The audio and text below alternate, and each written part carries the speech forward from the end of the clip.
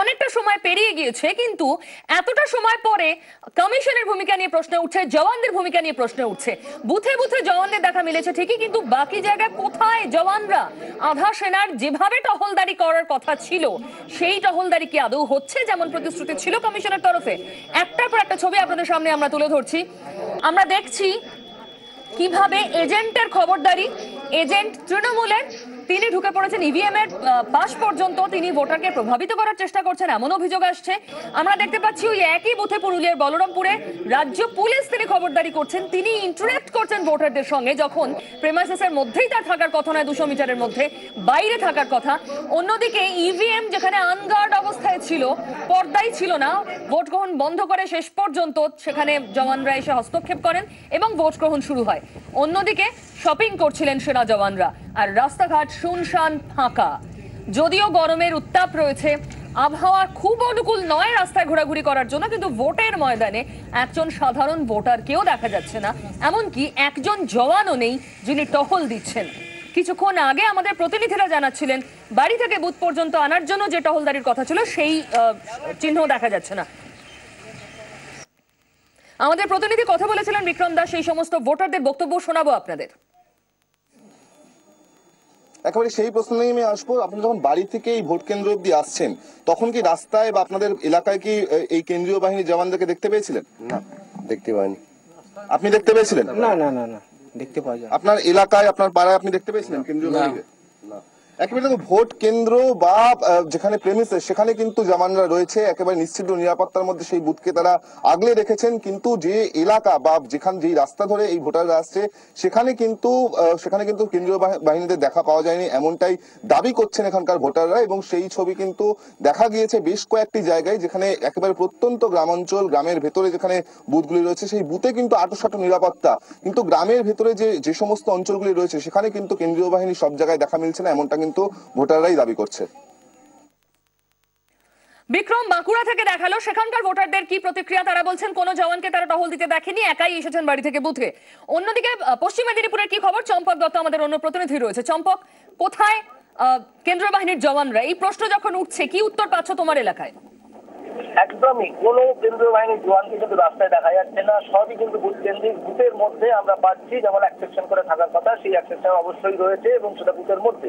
কিন্তু রাস্তায় আমরা গোটা মেদিনীপুর বিধানসভা এবং শালবনী বিধানসভার বিস্তীর্ণ এলাকা আমরা সকাল থেকেই ঘুরছি। কিন্তু প্রত্যেকটা জায়গাতেই দেখছি গোটা রাস্তা ফাঁকা, কোনো জায়গাতেই কোনো কেন্দ্র বাহিনীর টহল নেই। গ্রামে তো দূরের কথা, যেখান থেকে বলা হচ্ছে নির্বাচন কমিশন বলেছিল যে নিরাপত্তা দিয়ে মানুষকে যারা ভোট দিতে আসবে তাদের নিরাপত্তা দেওয়া হবে।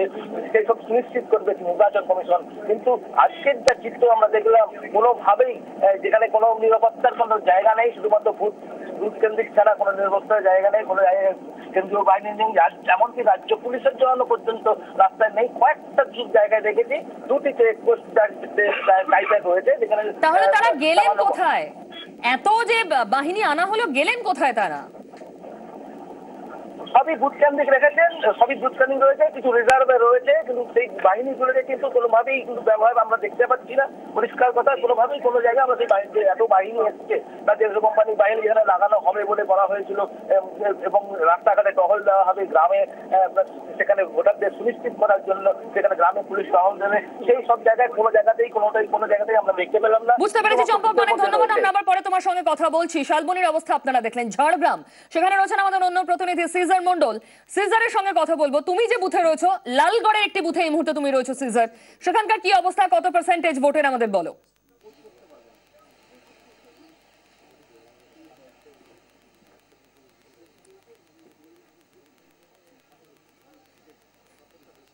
দেখো, লালগড় লালগড় যে মূল প্রাণকেন্দ্র, সেই লালগড় রামকৃষ্ণ বিদ্যালয়তেই আমরা এই মুহূর্তে রয়েছি। সেখানে ইতিমধ্যেই কিন্তু প্রায় পঞ্চান্ন শতাংশেরও বেশি ভোট পড়ে গেছে। এই মুহূর্তে গোটা যে ভোট কেন্দ্র, সেই ভোট কেন্দ্র কার্যত শুনশান, কারণ এই মুহূর্তে ভরা দুপুরে প্রচণ্ড গরমের মধ্যে কিন্তু অধিকাংশ ভোটারই আসেননি এবং সকালের দিকেই ভোটের পার্সেন্টেজটা অনেক বেশি ছিল, সকালের দিকেই ভিড়টা বেশি ছিল। এবং যে কথাটা পিউ তুমি বলছি, বলছিলে যে এটা কিন্তু ঝাড়গ্রামের ক্ষেত্রেও সত্যি আমরা দেখছি যে বুথে বুথে কিন্তু পর্যাপ্ত পরিমাণ কেন্দ্রীয় বাহিনী রয়েছেন এবং তাদের আটোসাটো যে নিরাপত্তা সেটা বজায় রয়েছে। কিন্তু ঝাড়গ্রাম থেকে লালগড় একটা লম্বা রাস্তা বা ঝাড়গ্রাম থেকে আমরা শিলদা গেছিলাম সে এক- আরও একটা লম্বা রাস্তা। সেই রাস্তা জুড়ে যাওয়ার পথে বা তার মধ্যে আমরা বিভিন্ন গ্রামেও ঢুকেছিলাম। সেই গ্রামেও যখন আমরা পৌঁছেছিলাম সেই গ্রামগুলোতে কিন্তু কোনো জায়গাতেই আমরা সেইভাবে কেন্দ্রীয় বাহিনীর উপস্থিতি দেখতে পাইনি। এবং যেটা কেন্দ্রীয় বাহিনী, যেটা সাধারণ মানুষ দাবি করছেন, গতকাল রাত্রির পর্যন্ত বিভিন্ন জায়গায় কেন্দ্রীয় বাহিনীর টহল থাকলেও আজকে সকাল থেকে কিন্তু কার্যত কোনো এলাকায় কেন্দ্রীয় বাহিনীর সেরকম কোনো টহল ছিল না। অর্থাৎ কমিশন যেটা বারবার বলছিল যে ভোট কেন্দ্রে যাতে ভোটাররা নিরাপদে, নির্বিঘ্নে পৌঁছন, সে দায়িত্ব কেন্দ্রীয় বাহিনী, অর্থাৎ নিরাপত্তা দেওয়ার যে দায়িত্ব, সেই জায়গায় দাঁড়িয়ে কোনো একটা জায়গায় যেন প্রশ্ন উঠছে, কেন্দ্রীয় বাহিনী কোথায় গেল, তাদের যে নিরাপত্তা দেওয়ার দায়িত্ব, কারণ বিভিন্ন গ্রামে এখনও কিন্তু প্রচুর সেন্সিটিভ এই এলাকায় সেন্সিটিভ গ্রাম রয়েছে। আমি তোমার থেকে জানতে চাইব কমিশনের একটা নির্দিষ্ট ডিজাইন ছিল ডেপ্লয়মেন্টের সেটা কি ফলো করা হচ্ছে না? তাহলে রাস্তাঘাটে টহল দেওয়ার জায়গায় কেন দেখা যাচ্ছে না জওয়ানদের? নাকি সবাই মিলে এসে বুথে কেন্দ্রীভূত হয়েছেন?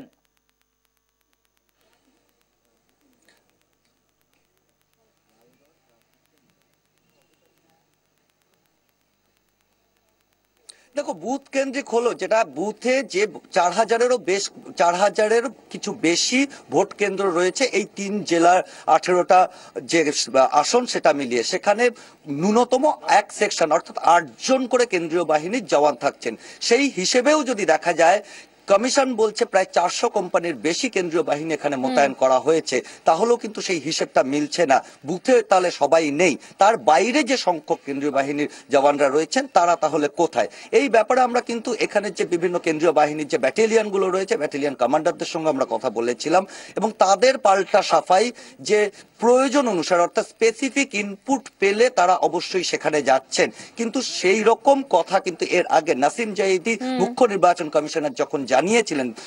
তিনি কিন্তু বলেছিলেন যে ভোটারদের নিরাপত্তা সুনিশ্চিত করা ভোট কেন্দ্র পর্যন্ত তাদের নিয়ে যাওয়ার একটা দায়িত্ব পালন করবে কেন্দ্রীয় বাহিনী এবং এই বিষয়টা তিনি অনেক বেশি জোর দিয়েছিলেন। কারণ বহু ক্ষেত্রেই দেখা যায় ভোট দিতে আসার আগেই ভোটারদের কিন্তু ভয় দেখানো হয় হুমকি দেওয়া হয় এবং সেই কারণে তারা ভোট কেন্দ্র পর্যন্ত পৌঁছতে পারেন না এবং সেই কারণেই এই ব্যবস্থা নেওয়া হয়েছিল এবং সেই অভাবটাই কিন্তু জঙ্গলমহলের ইলেকশনে যে প্রথম দফার নির্বাচন সেখানে কিন্তু ঝাড়গ্রাম বা সংলগ্ন এলাকায় কিন্তু আমরা সেই ছবিটাই দেখতে পাচ্ছি যে কেন্দ্রীয় বাহিনীর অনুপস্থিতি গ্রামে বা পাড়ায় এবং তাদের সেই অনুপস্থিতিটা হয়তো অনেকাংশেই সাধারণ মানুষকে আশঙ্কা মুক্ত করতে পারছে না। পিউ। সিজন, অনেক ধন্যবাদ। আমরা আবার পরে তোমার সঙ্গে কথা বলব।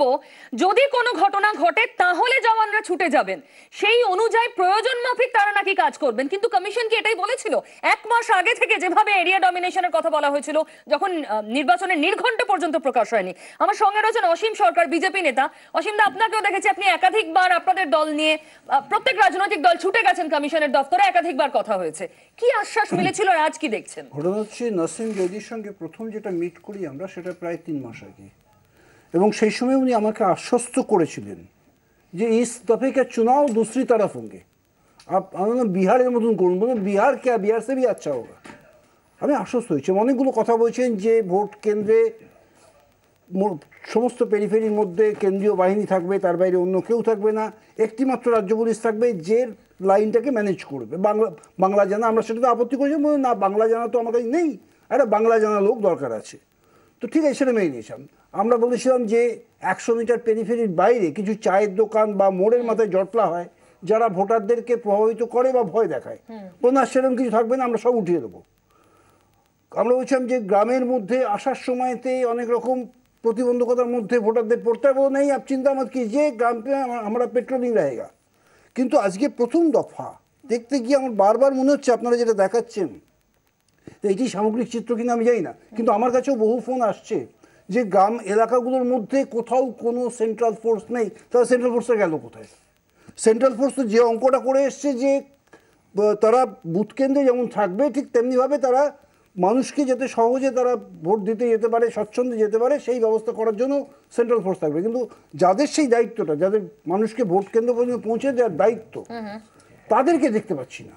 তারা কোথায় গেল? একেবারে রিজুর কাছে আসব। আমাদের প্রতিনিধিরা জানাচ্ছেন যখন জওয়ানদেরকে এই প্রশ্ন করা হচ্ছে তারা বলছেন ইনপুট পেলেই আমরা দৌড়ে যাচ্ছি।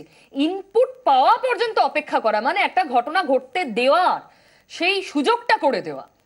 এরকম কি আন্দাজ করা গিয়েছিল? ভোট শুরু হওয়ার আগে কমিশনের যা ভূমিকা দেখা গিয়েছিল। নিশ্চিতভাবে নয়। কারণ আমরা, আমি যেহেতু প্রদেশ কংগ্রেস থেকে কমিশনের লিয়াজও করার দায়িত্বে ছিলাম, আমরা একাধিকবারে বার চিঠি দিয়েছিলাম এবং আমরা একটা লিস্ট বানিয়ে দেওয়া হয়েছিল ইলেকশন কমিশনকে প্রায় চল্লিশ, একচল্লিশ হাজার বুথ চিহ্নিত করা হয়েছিল। যে বুথগুলো অতি স্পর্শকাতর বা স্পর্শকাতর এবং সেই বুথগুলো চিহ্নিত করা হয়েছিল দু হাজার চোদ্দ দু হাজার তেরোর পঞ্চায়েত এবং দু হাজার পনেরোর পৌরসভা নির্বাচনগুলোর ভিত্তিতে যে সেখানে কোথায় মানে একটা বুথ কখন সেন্সিটিভ হয়ে যায় বা কখন হাইপার সেন্সিটিভ হয়ে যায় যে যদি দেখা যায় সেখানে টেন্ডার ভোটের সংখ্যাটা খানিকটা বেশি হয়েছে তার মানে কি সাধারণ মানুষ ভোটটা দিতে পারেনি তাই টেন্ডার ভোট বা চ্যালেঞ্জ ভোটের পার্সেন্টেজটা বেশি। এবং নিয়ম হচ্ছে দশ পার্সেন্টের বেশি টেন্ডার ভোট হলেই সেই বুথটা ক্যান্সেল হয়ে যাবে বা বাতিল হয়ে যাবে। কিন্তু অধিকাংশ ক্ষেত্রেই এখানে কিন্তু ভোট বাতিল করা হয়নি। হয় ভোট বাতিল করা হয়নি। তো সেই রকম একটা লিস্ট বানিয়ে আমরা দিয়েছিলাম প্রায় একচল্লিশ চল্লিশ একচল্লিশ হাজার বুথের এবং আমরা স্পেসিফাই করেছিলাম, খুব স্পেসিফিক্যালি আমরা বলেছিলাম যে P minus two and P minus one এই দুটো দিন যাতে মানে এলাকার মধ্যে তাঁবু খাটিয়ে যুদ্ধকালীন পরিস্থিতিতে যাতে সিআরপিএফ জওয়ানরা থাকে, যাতে করে একটা সাধারণ মানুষের মধ্যে একটা কনফিডেন্স বিল্ডিং হয়। আমি একটা খুব গোদা উদাহরণ দিচ্ছি। ধরুন, পিউ, তুমি একজন আধা সামরিক বাহিনীর জওয়ান, আমি একজন ভোটার, ইনি শাসক দলের লোক। ইনি একটা পেরিফেরি মেনটেন করে এলাকাটা এলাকার মধ্যে একটা ভয়ের বাতাবরণ তৈরি করছেন, কিন্তু আমি যখন রাস্তায় বেরোচ্ছি, বাজার করতে, আমি তোমাকে দেখতে পাচ্ছি। তুমি ওখানে টহল দিচ্ছ, কিংবা ওখানে বসে আছো, কিংবা ওখানে দাঁড়িয়ে আছো, আমার মধ্যে কিন্তু একটা কনফিডেন্স তৈরি হবে। নান্দালেস, আমি দেখছি কিন্তু শাসক দলের লোক ঘুরে বেড়াচ্ছে, আমি অ্যাটলিস্ট বলি ঠিক আছে, ইনি তো আছেন, আমি তাহলে ভোটটা দিয়ে আসব। ভোটটা যদি দিয়ে অন্য মানে ভোটটা যদি আমি আমার পছন্দ মতো প্রার্থীকে দিতে পারি, তাহলে যদি আমার পছন্দের প্রার্থী যেতে, সে যদি শাসক দলের প্রার্থী না হয়, তাহলে এখানে শান্তি ফিরে আসবে। এই যে হোল মানে ফেনোমেনাটা এই ফেনোমেনাটা বোধহয় সম্ভবত মিসিং আমার যেটা মনে হচ্ছে। পুরুলিয়ার কথা একটু জানা যাক। আমাদের প্রতিনিধি এই মুহূর্তে আমার সঙ্গে রয়েছেন অনুপ মুখার্জি। অনুপ বাঁকুড়ার পশ্চিম মেদিনীপুরে আমরা যে ছবিটা দেখছি বেশিরভাগ বুথেই বুথের মধ্যে রয়েছে কিন্তু তার বাইরে রাস্তাঘাটে গ্রামের রাস্তায় রাস্তায় কোনো টহল নেই সেনা জওয়ানদের। কি দেখছ পুরুলিয়ায়? একেবারে ছবিটা পুরুলিয়াতেও সে একই রকম। আমি এই মুহূর্তে বলরামপুরের একদা যে মাওবাদীদের ঘাঁটি সেই জায়গায় আমি আছি। আমি বিস্তীর্ণ এলাকা ঘুরে বেড়ালাম।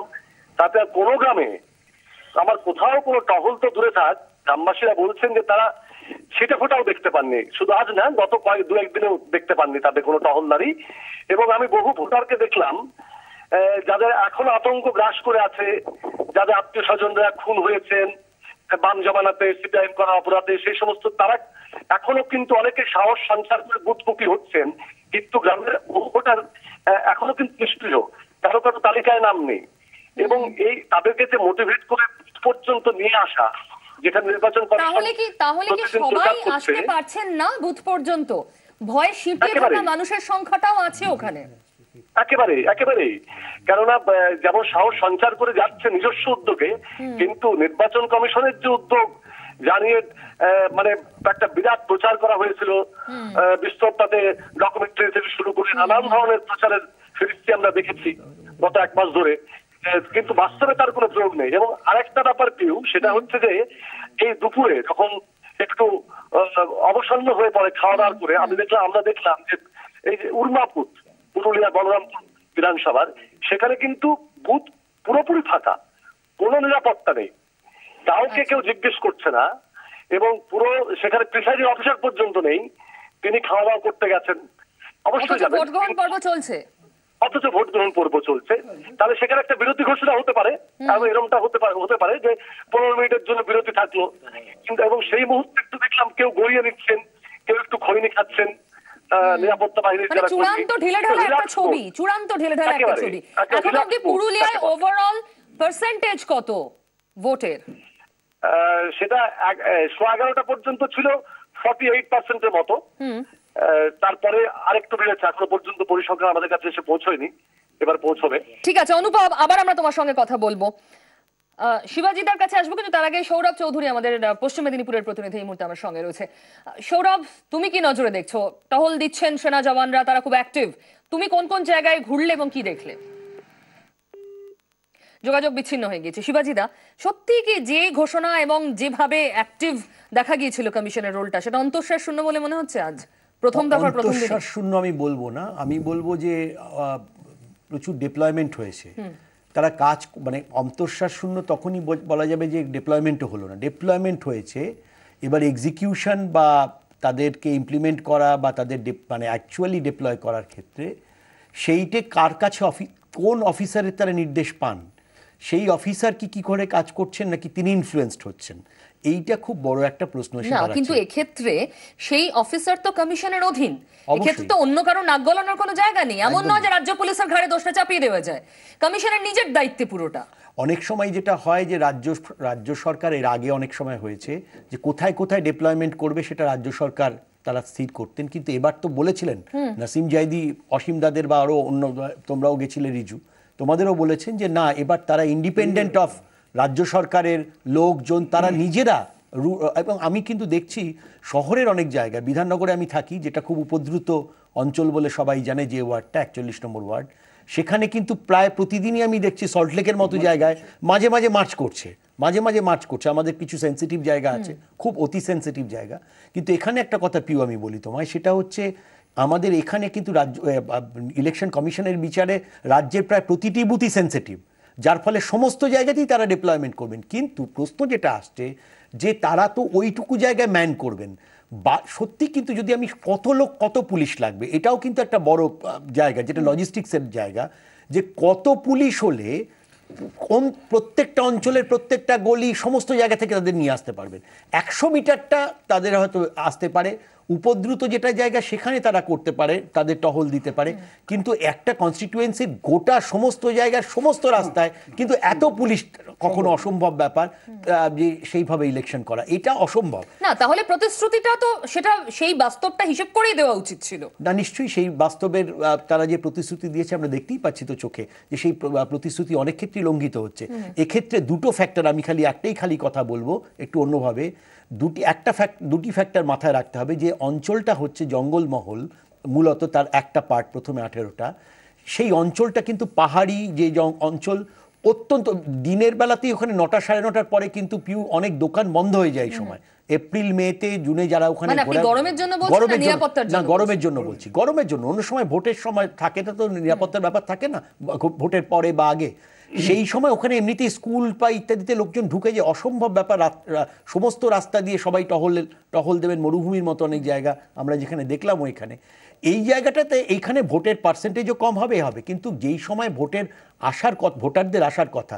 আমরা অলরেডি দেখলাম যে এগারোটা শো এগারোটার মধ্যে ফর্টি ফাইভ পার্সেন্টের ওপরে ভোট হয়ে গেছে। এখন অবধি অন অ্যান অ্যাভারেজ 50% ভোট পড়ে গিয়েছে বেশি হবে এটা। একটার একটার উপরে আছে 50 55 মতো 60 ভোট পঞ্চান্নর মতো যদি ভোট হয় তাহলে অনেকখানি ভোট আমি এইটুকু বলছি সেই সময়টা আরও বাড়তে পারে? বিকেলের দিকে রোদটা কমলে? বিকেলের দিকে তিনটে তিনটের পর থেকে আমার তিনটের পর থেকে আবার কিছুটা বাড়বে। কেন? অসম্ভব রোদ্দুর।